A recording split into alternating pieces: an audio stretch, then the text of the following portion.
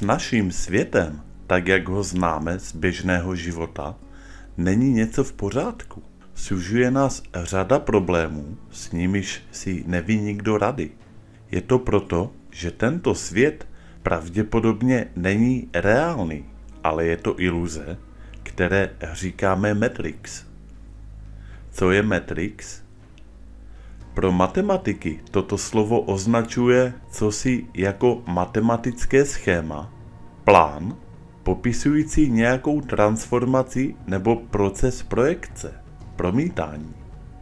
Když si například vezmete lupu, abyste si přečetli hodně malý text, lupa pro vás text opticky zvětší. Tuto projekci je možné matematicky popsat a také napodobit v počítačových programech. Když se díváte lupou, už nevidíte text, ale vidíte jeho zprostředkovaný obraz. A když se podíváte na okraje lupy, zjistíte, že jsou rozmazané. To samé platí pro Matrix. I v něm se vyskytují chyby, protože do každého promítaného obrazu se zákonitě nějaká chyba vloudit musí. A nejde o to, že by projektant nebo výrobce odvedl špatnou práci. Dochází k pokřivení, deformaci. Obraz skutečnosti je vždy nejdokonalejší než originál. U lupy si to všichni uvědomujeme.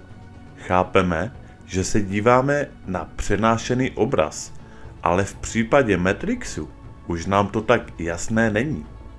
Nemáme vedle sebe znalce Morfea, co by nás z něj vytáhnul, abychom se na něj mohli podívat zvenku. Co máme nejvíc před očima, to nevidíme. Mezi jednoduchou lupou a Matrixem, který nám promítá celý svět, jsou propastné rozdíly. Velký Matrix je nesmírně složitý a komplexní. Obraz z lupy je statický, ale Matrix naší reality je velmi dynamický a neustále se mění, pořád se pohybuje. Ať už je stvořitelem Matrixu kdokoliv, nelze mu upřít mimořádnou inteligenci. Učinil všemožná opatření, která mají zaručit, že její podstatu neodhalíme. Ale pozor, změny, které se v Matrixu odehrávají, mají důležitou vlastnost. Je to návaznost. Jedna událost navazuje plynule na druhou a řídí se určitou logikou. Existují však výjimky, kdy tato logika přestává platit a v Matrixu se vyskytnou chyby. Pamatujete si na scénu, kdy Neo uvidí černou kočku? Byla to ta samá kočka? Deja vu je chyba v Matrixu. Děje se to, když něco předělávají. Právě chyby v Matrixu nám umožňují ho odhalit. Těžko říct, jestli chyby vznikají spontánně, nebo jestli je někdo cíleně vytváří. Možné je dokonce obojí. Ale jsou nám známy události, které se zkrátka naprosto vymykají jakékoliv logice a není jich zrovna málo. Popíšu vám jednu událost, která se skutečně stala. Byla neděle, venku mrzlo a dva blíže nejmenovaní manželé pozvali své přátele na odpolední kávu. Seděli v jídelně u prostřeného stolu. Do jídelny byly dveře otevřené, odkud bylo vidět na 8 metrů dlouhou chodbu. Chodba byla osvětlena malou žárovkou a zeď proti místnosti, ve které byli hosté, neměla žádné dveře. Najednou vystoupil přímo ze stěny na chodbě neznámý muž. Byl středního věku, dohněda opálený a atletické postavy, ale na svůj věk měl příliš šedivé vlasy. Oblečen byl pouze do šortek a trička, takže vzhledem k roční době působil hodně neobvykle. V jedné ruce držel misku, z níž se snažil lžičkou něco vylovit. Udělal několik kroků po chodbě a potom zmizel na jiném místě téže stěny, z níž předtím vystoupil. Všichni přítomní neznámého muže viděli a byli tím výjevem natolik konsternování, že se několik okamžiků nezmohli na slovo. Ještě dřív, než se kdokoliv stačil vzpamatovat, se muž opět, tentokrát bez misky, vynořil v místě, kde předtím zmizel a zase ušel chodbou několik kroků. Tentokrát ale krátce nahlédl do jídelny. V tu chvíli jeho obličej stuhl úlekem. Muž vyděšeně vykřikl, obrátil se a dvěma skoky zmizel v onom místě zdi, odkud se podruhé vynořil. Později, když se přítomní vzpamatovali ze šoku, začala rozprava o tomto podivném zážitku. Hostitelé přiznali, že muže, který vystoupil ze stěny, znají. Prý se na chodbě několikrát zjevil už v minulosti, někdy však před cizími lidmi. Z pochopitelných důvodů si to doposud nechávali pro sebe a až do tohoto dne si jich muž nikdy nevšiml. Co si o tom člověk má myslet? Jak najít vysvětlení? Muž nepůsobil jako duch, ani to nebyl zloděj, když prošel přímo zdí.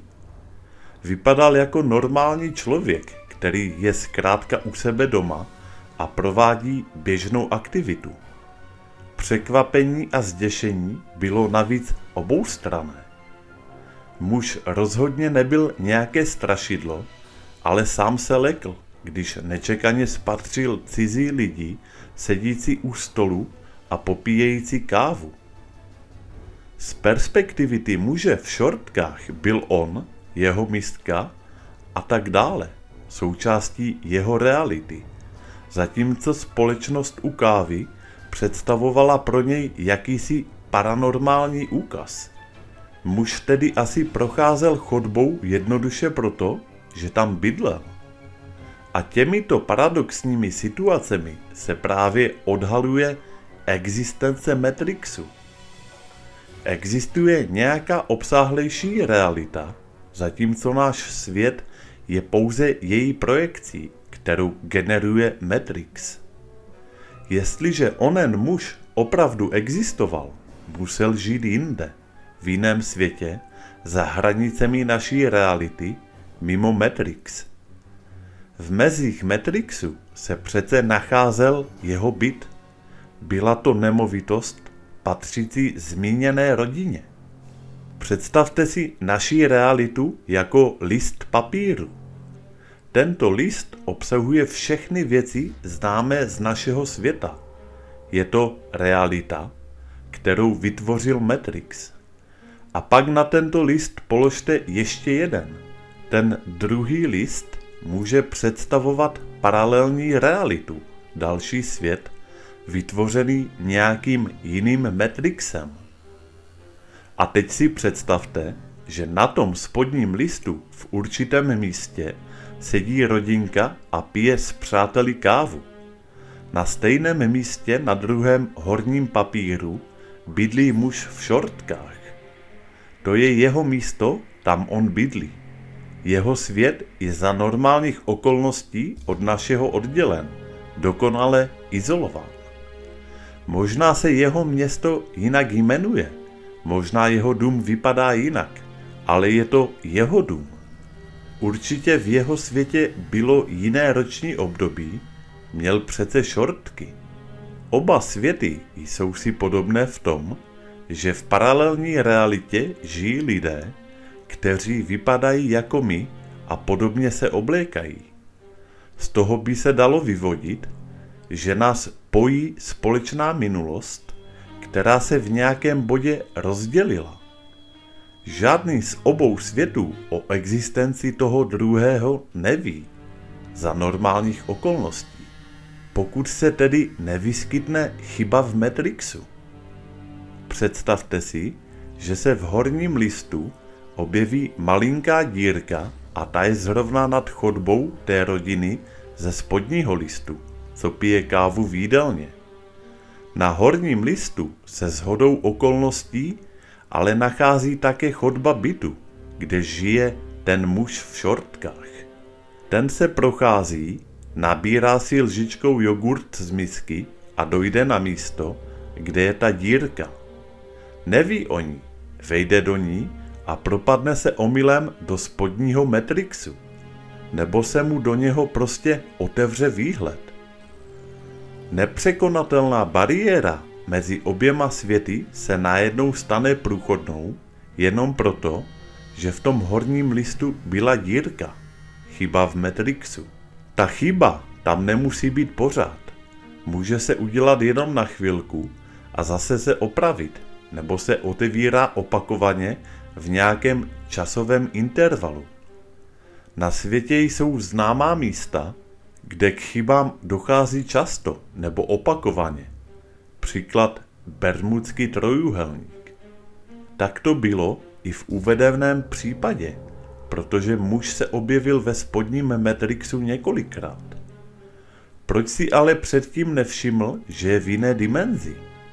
Protože paralelní světy nejsou jenom prosté listy papíru. Průchody, které se otevírají, nejsou normální dírky. Někdy se otevřou jenom jedním směrem, jindy oběma, někdy to ani nejsou průchody, ale pouhá okna, kudy se dá vidět. Tak, a to je konec tohoto videa. Já vám děkuji za pozornost. Komu se video líbilo, tak budu rád za like. A u dalších videí naslyšenou.